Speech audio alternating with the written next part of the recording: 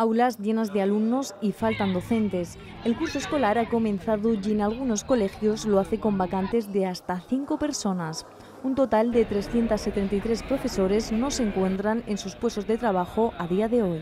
Lo que no está cubierto, y eso es lo que desde AMPE denunciamos, es decir, que el curso en Murcia, en Benir, empezó ayer eh, hoy empieza en muchísimas eh, otras localidades de, la región y la convocatoria de adjudicaciones eh, se hará hoy, se hará hoy, se resolverá mañana o pasado y dice la consejería que se van a incorporar el, el, próximo lunes. Desde 2010 no ha cesado la incertidumbre de interinos y docentes ante la duda de no saber cuándo saldrán nuevas plazas.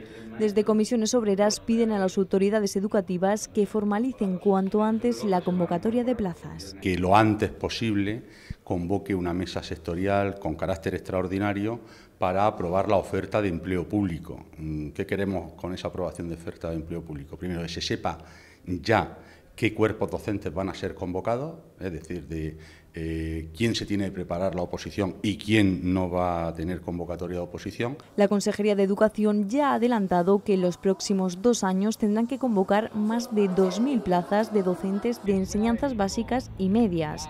Con respecto al horizonte que espera a los opositores... No es en torno a 2.000 plazas, son cálculos que se han hecho desde la Consejería de Educación, pero, insisto, cuando tengamos todos los datos desde el Ministerio nosotros podremos afinar esos números y eh, trabajar con esa prioridad porque es una convocatoria muy importante. Miles de opositores planifican estos días su calendario de estudios sin tener la certeza de si se convocarán plazas de su especialidad.